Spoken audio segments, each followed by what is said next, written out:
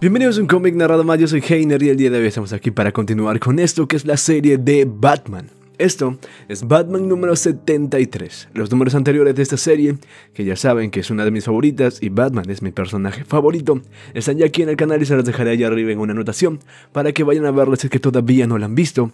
Esta serie se pone muy interesante a partir de ahora con el enfrentamiento de Batman contra Bane y su padre, Thomas Wayne. Esta historia ya inició en el número anterior, así que anda míralo si es que todavía no lo has visto. Y si te gustan los cómics y los superhéroes, dale un like a la página en Facebook, regálame un follow en Instagram y en Twitter y suscríbete porque este, este es tu canal.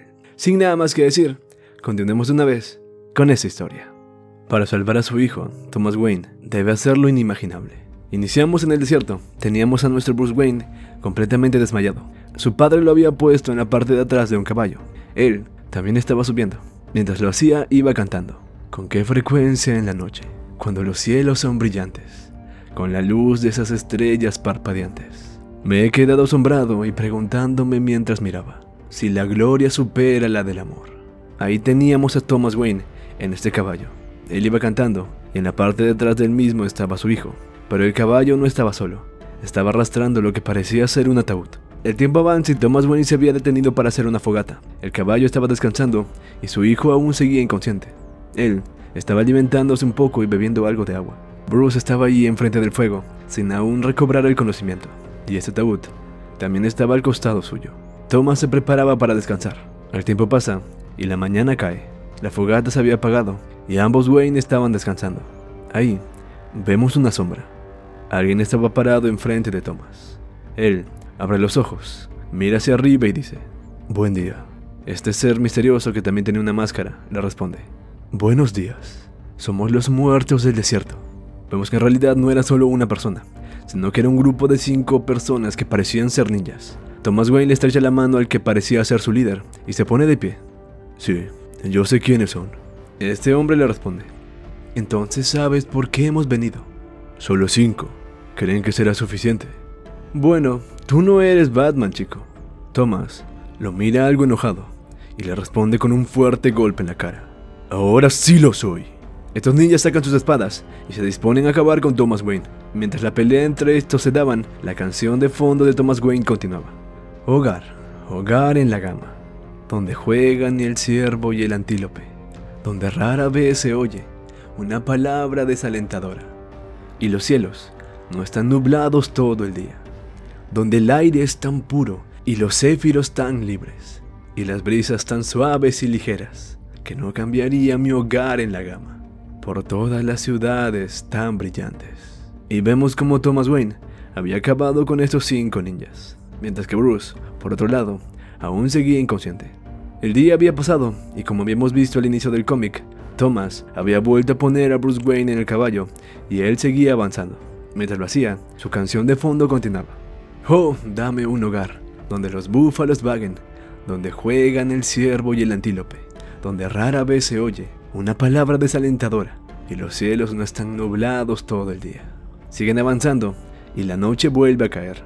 Thomas vuelve a hacer una fogata y se dispone a tomar sus alimentos antes de irse a descansar. Bruce seguía inconsciente y amarrado de manos. Mientras Thomas Wayne iba comiendo, vemos como Bruce empieza poco a poco a abrir los ojos, hasta que de repente se despierta por completo. ¡Bane! Él grita muy fuerte, pero su padre lo trata de calmar. Bruce. ¿Dónde? Está bien, todo está bien. Has pasado por algo, estás saliendo de algo. Estarás asustado. ¿Bane? Thomas Wayne le contesta. Solo recuerda lo que te enseñé. ¿Tú? ¿Tú dónde está? ¿Dónde está Bane? Bruce automáticamente intenta golpear a su padre. Él, obviamente, le detiene el golpe y le responde. Está bien sentirse asustado, todos lo hacen. Eso quiere decir que puedes combatir ese miedo. Y Thomas le devuelve el golpe a su hijo, haciendo que éste caiga al suelo. Desde el piso él trata de hablarle, pero no podía. Yo, yo. Bruce, hijo, escucha. Todo esto se acabó. Fuiste vencido, destrozado, en cuerpo y alma. Pero se acabó. Está en el pasado, se quedó en Gotham. Ahora aquí, es hora de reconstruir, demostrarles qué tan fuerte eres realmente. Ambos se dan un abrazo, Thomas Wayne continuaba diciendo, Hijo, mi muchacho, ya no tienes que preocuparte de absolutamente de nada. Tu padre está aquí para cuidarte. A la mañana siguiente, Thomas Wayne iba listando el caballo. Él le dice a su hijo, hice lo mejor que pude para reparar tu columna, pero entre el dolor y la anestesia, quiero que cabalgues. Yo caminaré. Bruce, algo desorientado todavía, le responde, sí, yo... ¿Es dónde? Pero dime, dime, ¿dónde estamos? Thomas le responde, en Middle Sands, alrededor de 100 millas fuera de Cadim. ¿Cadim? Yo no... Lo sabrás, el mejor detective del mundo. Cuando las drogas desaparezcan por completo, lo entenderás. Bruce se sube al caballo. ¿Y el... el ataúd? ¿Para qué? Ah, sí, el ataúd. Yo lo... ya lo entenderás también, hijo. Ellos seguían cabalgando por el desierto. Bruce sobre el caballo le pregunta a su padre. ¿Es esto? ¿Todo esto es un sueño? Thomas voltea y le responde. Sí, hijo, pero no es tuyo. La noche vuelve a caer y ambos prenden otra fogata. Bruce le pregunta a su padre. Vamos a hablar al respecto. Thomas ya sin su capucha le responde. Tenemos esta noche y un par de noches más. Podemos hablar de lo que quieras, hijo. Bruce continúa. Estuviste allí, lastimaste a Alfred, ayudaste a secuestrarme, estuviste a su lado mientras me golpeaba. Caí y yo te observé. Thomas pregunta. ¿Quieres golpearme, Bruce? Su hijo le responde. Sí. Ok. El sol ya había salido. Bruce iba despertándose. Él solo podía escuchar el canto de fondo de su padre. Hogar, hogar en la gama, donde juegan el cuervo y el antílope, donde rara vez se oye una palabra desalentadora y los cielos no están nublados todo el día. Thomas estaba allí parado entre más cuerpos de niñas. Bruce no entendía lo que estaba pasando.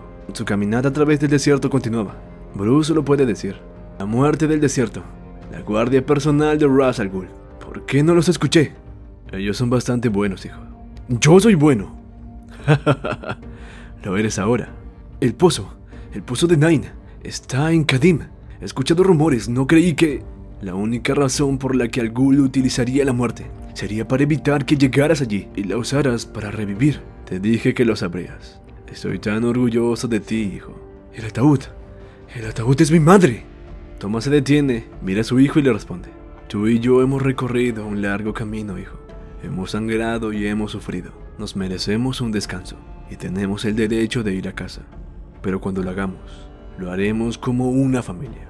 Una verdadera familia. Bruce le pregunta, ¿dónde está? Thomas le responde, en la silla.